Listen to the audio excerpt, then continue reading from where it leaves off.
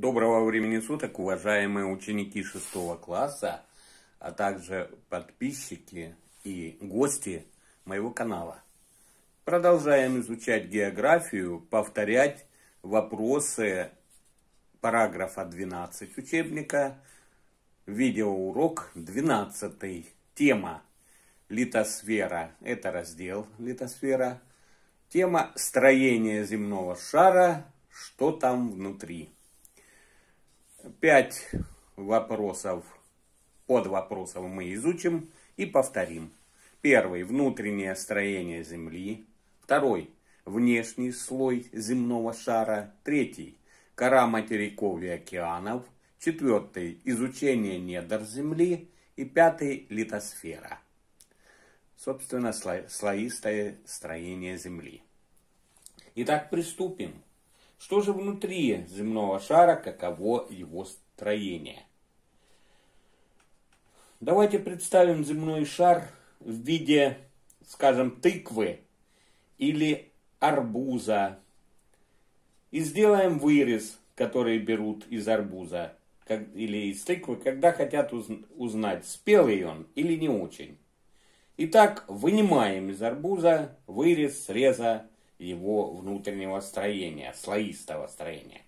Первое, что бросается в глаза, наш земной шар имеет слоистое строение. Какие слои в арбузе? Если считать от поверхности, то это зелено-черная корка или полосатая кожица, белая корка и красная мякоть внутри нашей планеты тоже три слоя. Но на этом сходство с тыквой или с арбузом, конечно же, заканчивается. Что же можно сказать о слоях, из которых состоит Земля?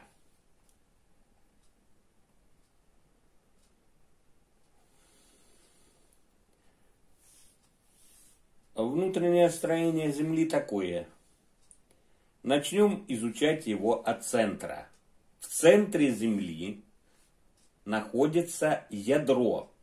Конечно, это не слой. Ядро – это шар размером поменьше земного. Его радиус составляет примерно 3,5 тысяч километров. То есть 3500 километров. Что известно о ядре? Да практически очень мало, почти ничего. Во-первых, что оно есть. Во-вторых, что оно очень и очень горячее. Температура, предполагается, там достигает 6000 градусов. Может даже несколько больше. То есть это такая температура, которая наблюдается также на поверхности нашего, нашей звезды, нашего светила, Солнца. Состоит земное ядро, скорее всего, из железа. И еще оно твердое. Повторим, в центре Земли лежит твердое ядро радиусом около 3500 километров. Оно состоит из железа, и температура внутри ядра достигает 6000 градусов. Второй слой, который как плащ или как мантия, со всех сторон покрывает ядро, как бы укутывает ядро свое одеяло. Так и называется мантия. Это очень толстый слой. Его толщина, то есть толщина мантии, примерно 2900 километров, почти 3000. Без 100 километров 3000. Температура в мантии тоже очень высока, хотя здесь попрохладнее, чем в ядре. Здесь температура около 2000 градусов по Цельсию. В самой мантии выделяют также три слоя – нижнюю мантию, среднюю и верхнюю мантии. Нижняя мантия твердая, а вот средняя мантия полужидкая. как тесто. Именно в средней мантии находятся очаги вулканов, запомните. В среднем слое мантии находятся очаги вулканов. А верхняя мантия твердая. Вот такой, это вот интересный слой, который называется мантия. Повторяем, второй слой в строении Земли – это мантия. Он имеет толщину 2900 километров. Температура превышает, ну, примерно 2000 градусов или около 2000 градусов. И выделяет нижнюю мантию, твердую мантию и среднюю или полужидкую мантию, а также верхнюю твердую мантию. Внешний слой земного шара, второй наш вопрос, он как бы главный в нашем повествовании, один из самых главных. И это, в свою же очередь, самый главный слой в строении Земли. И на поверхности этого слоя мы и существуем, живем. Называется он земная кора.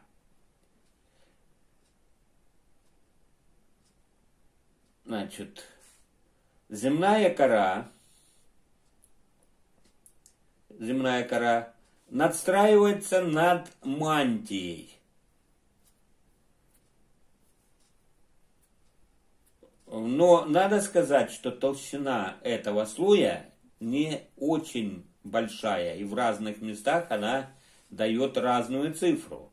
Ведь если мы сложим ядро и мантию 3500 километров и 2,9, в итоге мы получим 6400 километров.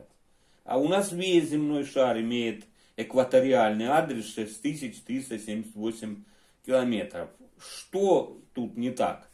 На самом, на самом деле все нормально. Во-первых, о толщине того или иного слоя мы всегда говорили приблизительно или около. Так что результат сложения получается весьма приблизительный. А во-вторых, третий слой, он такой тонкий, что ему можно бы, было бы и не заметить, если бы он не был прямо у нас под ногами. Кора на самом деле очень точное слово для описания этого слоя. В самом деле, представьте, радиус Земли 6300 километров, а максимальная толщина земной коры составляет всего 80 километров. То есть почти в 100 раз меньше. Это даже не кора, какая-то корка или кожица. Но термин «земная кора» введен уже много-много лет назад, поэтому он стал привычным. Земная кора – это определение, которое устоялось и в науке, и в учебных дисциплинах, и в географии, и в других учебных дисциплинах. Толщина земной коры различна. Самая толстая зем, земная кора лежит под материками.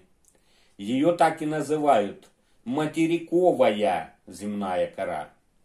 Она имеет толщину от 30 до 80 километров. А самая тонкая, она находится под океанами. Толщина этой корки под океанами, океаническое дно, всего 5-10 километров. И называется она океаническая. То есть здесь мы как раз вот рассмотрели третий вопрос. Кору материков и океанов. Итак, третий вопрос. Третий вопрос. Внешний слой земного шара – это земная кора. Она бывает материковая, то есть кора материков, имеющая толщину 30-80 километров и океаническую толщиной всего около 5 или 10 километров.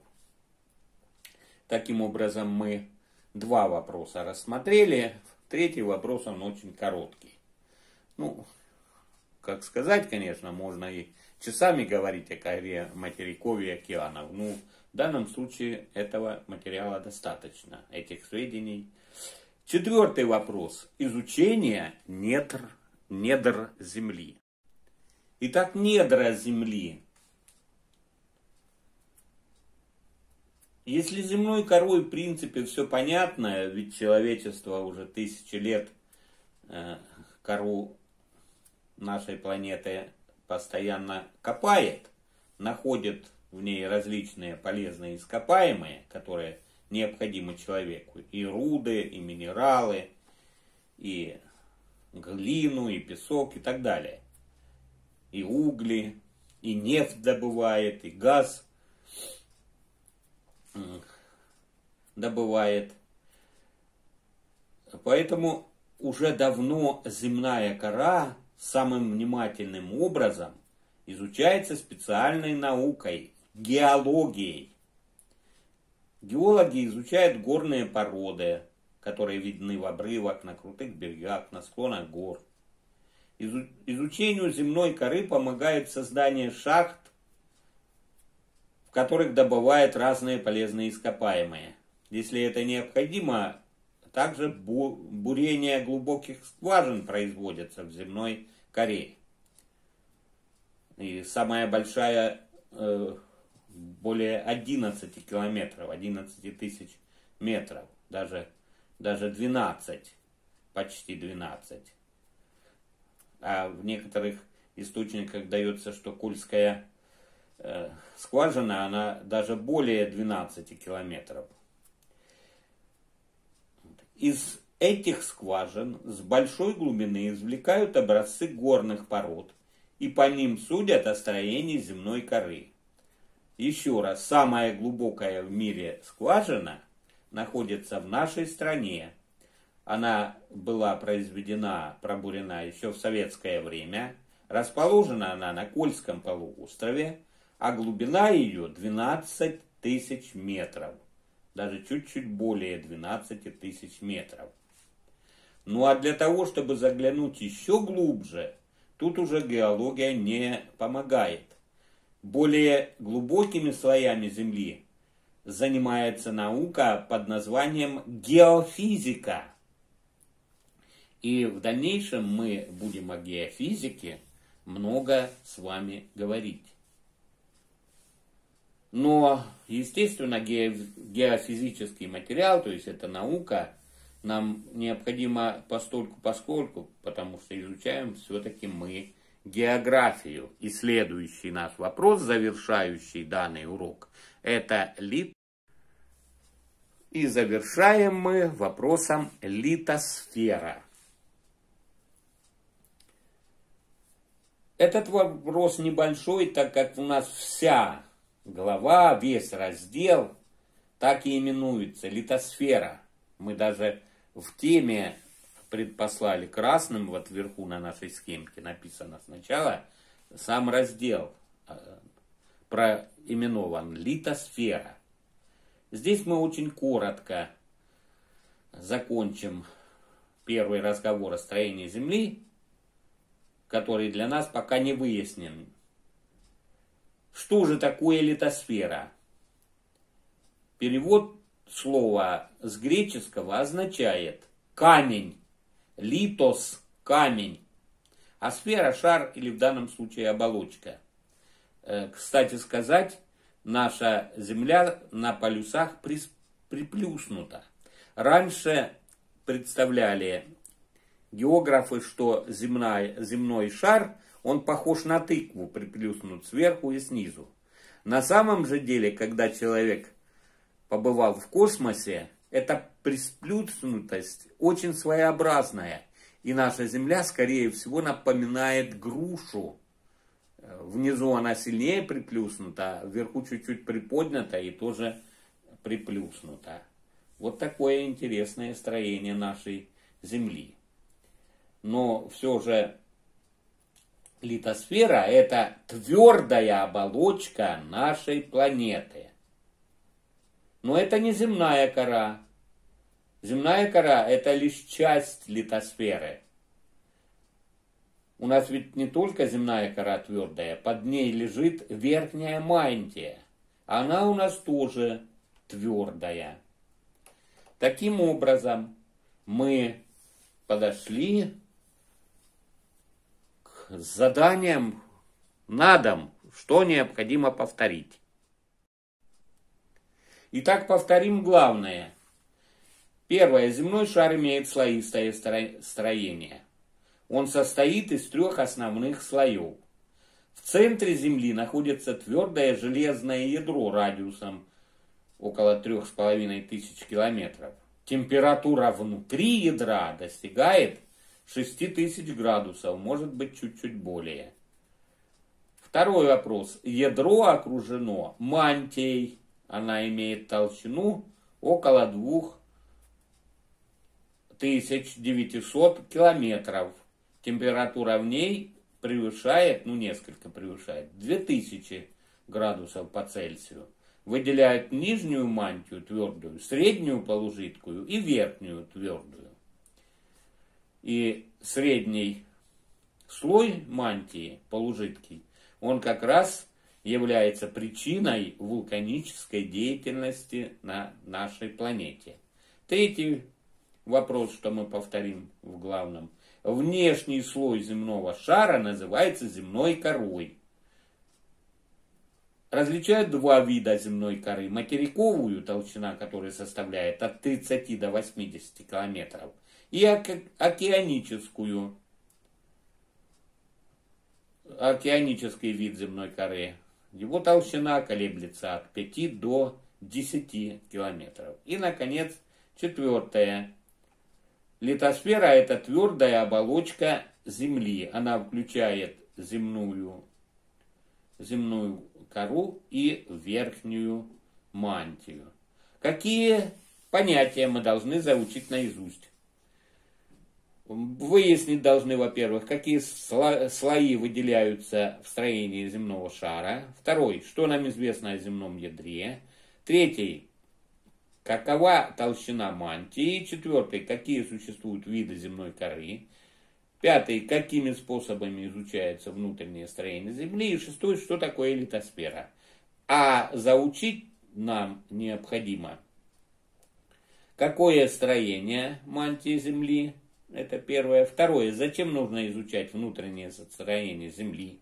Третье, нужно найти место для сверхглубокой скважины, с помощью которой можно проникнуть в мантию Земли где нужно ее расположить и почему.